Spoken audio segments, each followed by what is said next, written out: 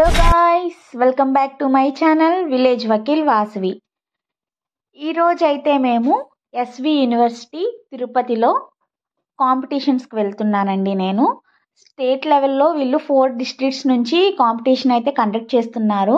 Income tax department వాళ్ళు conduct చేస్తున్న కాంపిటీషన్కి అయితే ఇక్కడ నేను బయలుదేరాను.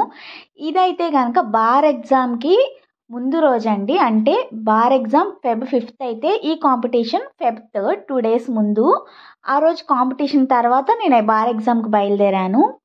ఇదైతే యూనివర్సిటీకి ఎంటర్ అవ్వగానే మనం వే వే అనేది ఉందండి. చాలా దూరంగా ఉంది యూనివర్సిటీ అయితే. మేము మా పద్మావతి యూనివర్సిటీ నుంచి అక్కడికి నడుచుకుంటూ వెళ్ళాము. యూనివర్సిటీకి వెళ్ళిన తర్వాత అయితే నాకు చాలా లాంగ్ అనిపించింది. నేనైతే నడవలేకపోయాను.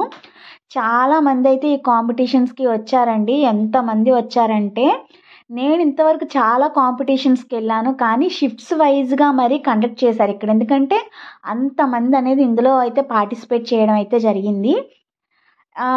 టాపిక్ వచ్చేసి role of payment of tax in building nation అని చెప్పేసి ఇచ్చారు. అంటే role of income tax in building in nation building అని. ఈ టాపిక్ మీద ఎలక్యూషన్ ఎస్ఏ రైటింగ్ అనేది కండక్ట్ చేశారు. ఒకటే టైం అనేసరికి ఓన్లీ ఎస్ఏ రైటింగ్ చేయమని చెప్పారు. కానీ అప్పుడు నేను ఎలక్యూషన్ కూడా పర్ఫామ్ అనేది చేశాను టైం మిగిలితే. ఇక్కడైతే నేను అక్కడ కొండల వ్యూ అనేది నాకు బాగా నచ్చిందండి. అందుకే షూట్ చేద్దాము కాసేపు అయినా చిన్న క్యూట్ బ్లాగ్గా ఉంటుంది అని చెప్పేసి అయితే వీడియో నేను షూట్ చేయడం జరిగింది. ఆ కొండలైతే నాకు చాలా బాగా నచ్చాయండి ఇక్కడ. నేను ఎప్పటి నుంచో తిరుపతి రావాలి అనుకున్నాను కానీ చదువు కోసం వస్తానని అయితే అనుకోలేదు.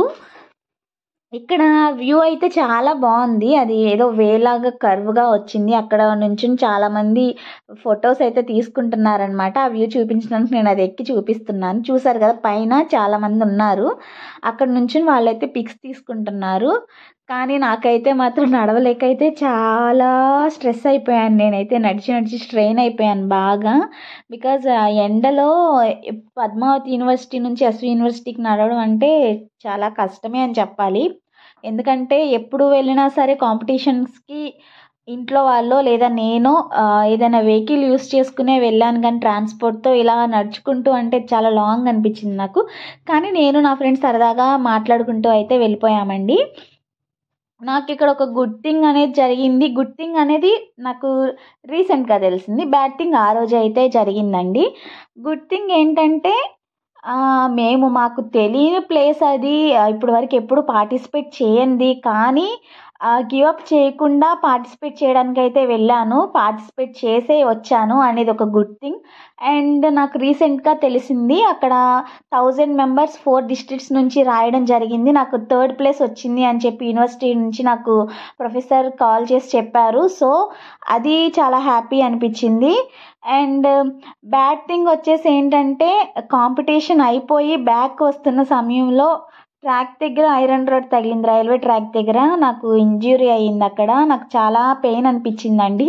ఆ ఇంజ్యూరీ వల్ల బార్ ఎగ్జామ్కి కొంచెం ఇబ్బంది అయితే పడ్డాను. ఇదైతే bad thing.